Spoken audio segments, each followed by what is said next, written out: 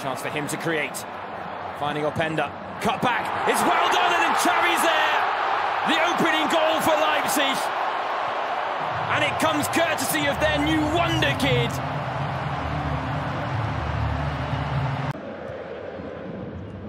The interesting thing is they're training on an artificial pitch, but I hold the thought because Openda with a chance to make it two. Xavi turns provider.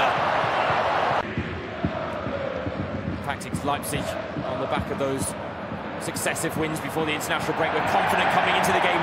Xavi certainly is, and he continues going here. Advantage play. Raum with the back post. It's 3 0.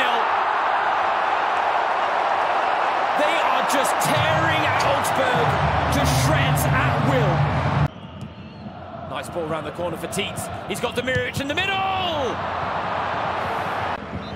But here it was an impressive win for Leipzig, all based on a wonderful first half performance from Marco Rose's men.